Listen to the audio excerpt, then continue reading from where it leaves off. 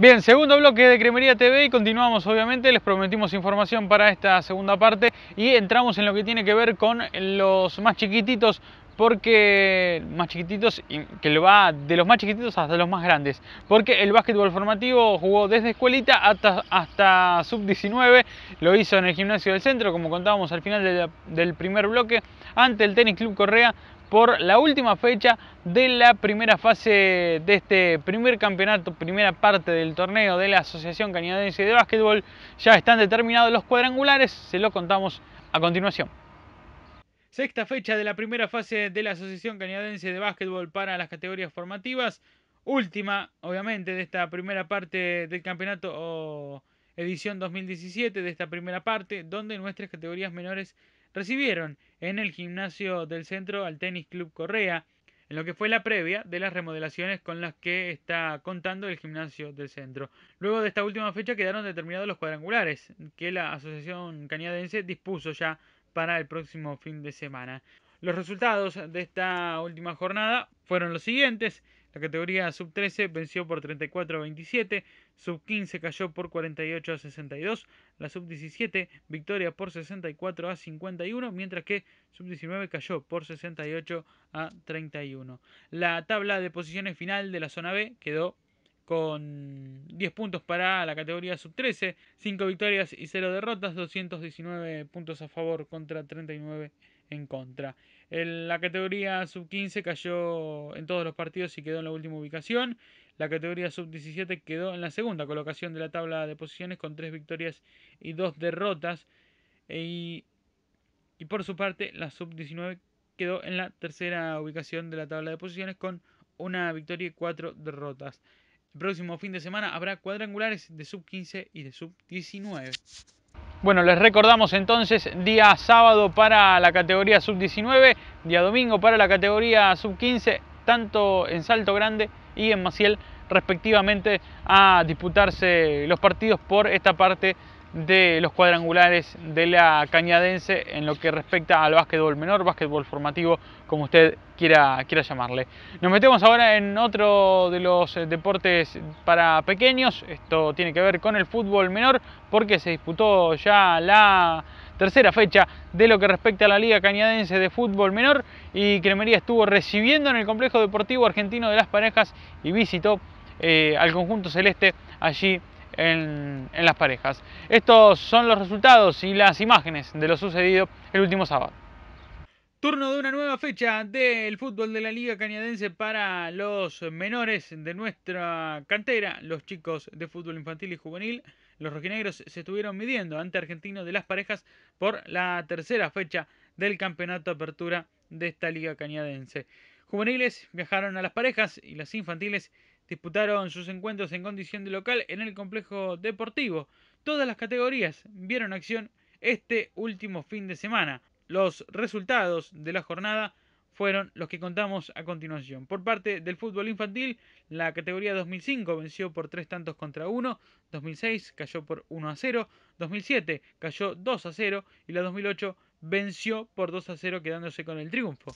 Mientras que en las parejas en cancha del Celeste, la quinta división ganó por 1 a 0 con gol de J. Rodríguez. La sexta división cayó por 1 a 0 por la mínima diferencia.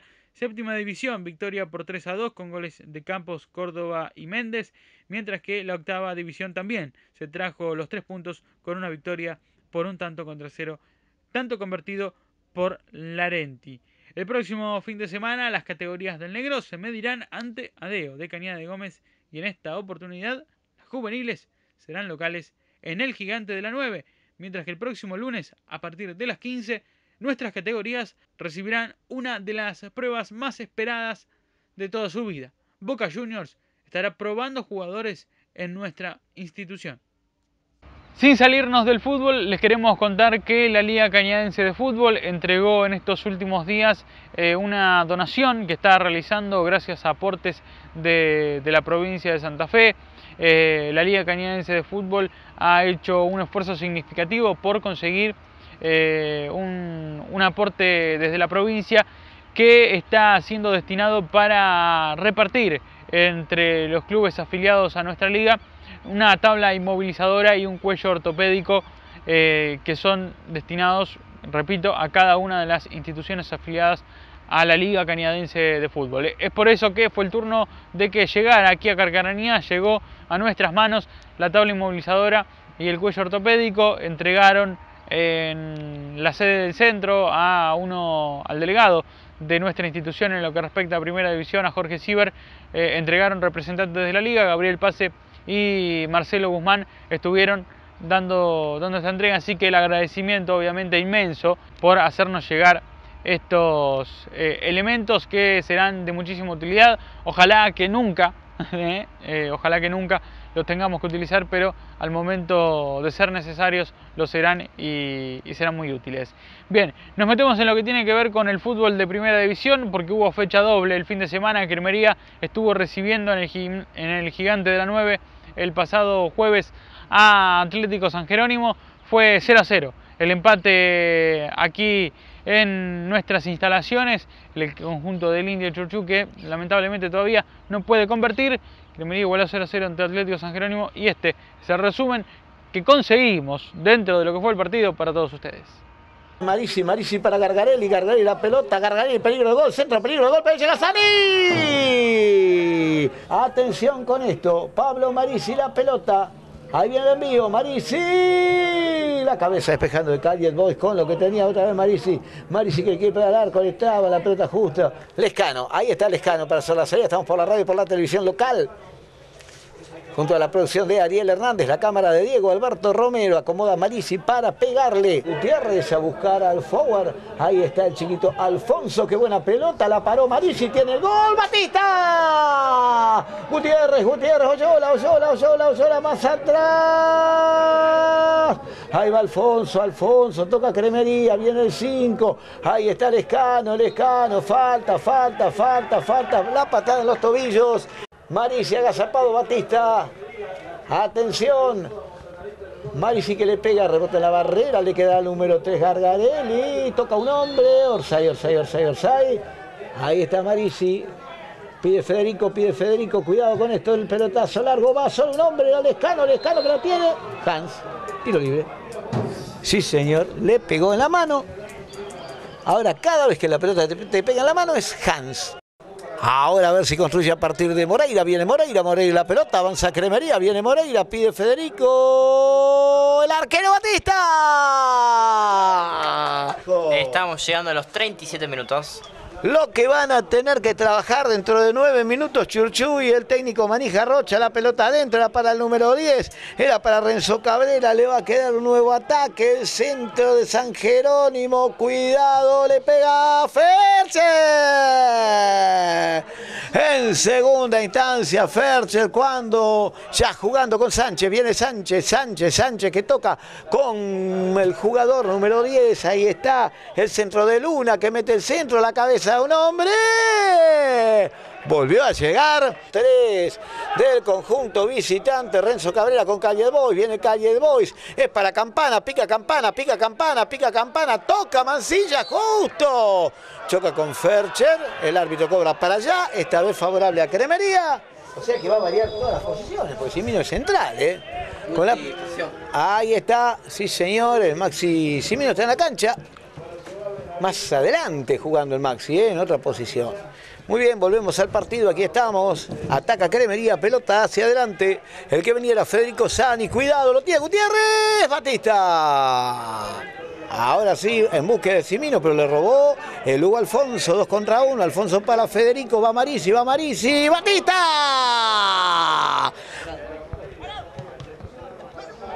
Le queda la pelota al número 7, Alfonso. Bien, Alfonso, le pega a Batista. Con Chiquitín Garareto nos acordábamos de Don Rocha, cuando decía el 1 de 1, el 2 de 2, el 3 de 3, los demás ya saben. Y hay un error de Cremilla, viene con la pelota el jugador Cabrera Ferche.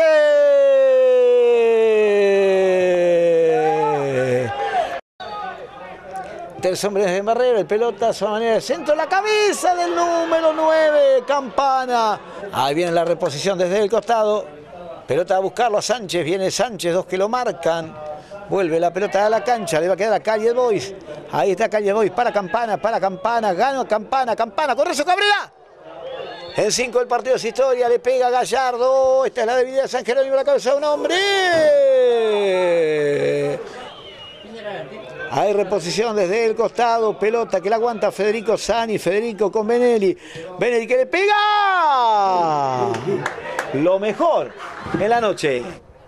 Cabrera y la pelota, viene Cabrera, el centro, le queda un hombre con lo que pudo, acaba de salvarse, le había entrado Sánchez con alma y vida, lo tuvo esfuerzo, le entró Sánchez, saque de portería, ya le pega el bochazo hacia adentro, arriba la cabeza de Mancilla, solo un hombre. Atención, venía Federico Sani, toca Batista, Batista, Batista, Batista, Batista. La pelota es para Gargarelli, ahora Gallardo, cuatro que lo marcan. Va Gallardo, bola de oro para Cremería esta, sin dudas. ¿eh? Ahí va Mancilla, solo un hombre, solo el número 8. Gutiérrez a la pileta climatizada. 49, 4-9, estamos jugando. Pelota hacia adelante, se va el partido aquí 0 a 0. Atención, se va, se va, se va, se fue. Nueva, hagan empatado. Cremería, Cremería y San Jerónimo. Bien, y de esta manera llegamos a lo que es el final de este segundo bloque. En el próximo bloque llega el partido ante Newells, llega el tenis, la definición del torneo de dobles masculino que cada vez se dilató un poquito más, pero llegó a su fin, tiene sus campeones y lo que tuvo que ver con hockey, que visitó a Totoras eh, visitó la localidad de Totoras y se midió ante Unión Fútbol Club el pasado jueves 13 eh, de abril y en instantes vamos a estar compartiéndolo con ustedes. Segunda pausa, ya volvemos, esto es Cremería TV.